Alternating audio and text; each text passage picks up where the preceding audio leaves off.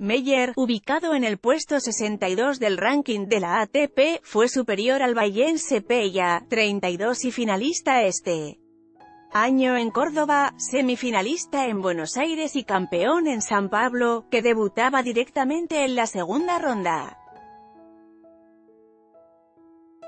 Con esta victoria, el historial entre los dos campeones de Copa Davis en 2016 quedó 3 a 3. Yaka, Meyer jugará en la tercera ronda con el griego Stefanos Tsitsipas, 10, o el estadounidense Mackenzie MC Donald, 60. Más tarde, el porteño Diego S.C.H. Wartzman, 24 del ranking mundial, tuvo un debut fallido ante el estadounidense Rayleigh. Opelka, 58, que se impuso en un picante y disputado partido por 6 a 4, 3 a 6 y 6 a 4. El Peque tenía un antecedente favorable sobre el gigante Opelka, mide 2,11 metros, puesto que le ganó en el Masters 1000 de Canadá 2017, también sobre superficie rápida.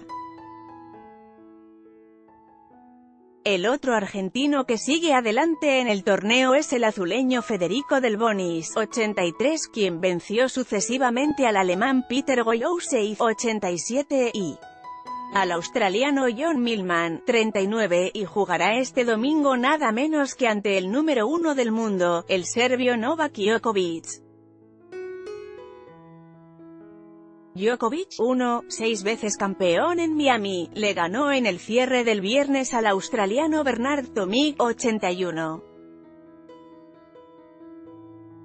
El gran favorito del torneo es Djokovic, segundo el alemán Alexander Zverev 3, y no compite este año el tandilense Juan Martín. Del Potro, 8, semifinalista en 2018, debido a que se resintió de la lesión que padece en la rótula derecha. El contenido al que quiere acceder es exclusivo para suscriptores.